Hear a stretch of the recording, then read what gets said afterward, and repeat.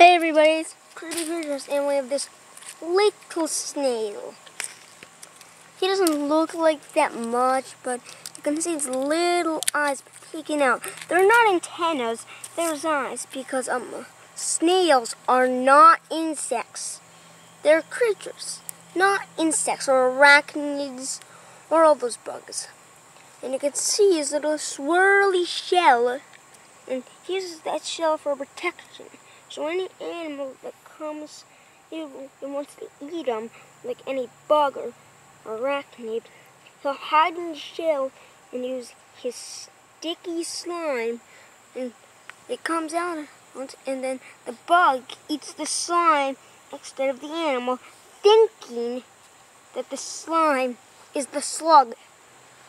And then the slug uses that slime for detection, though it goes real really slow. And that you can eat them, just not with the shell on.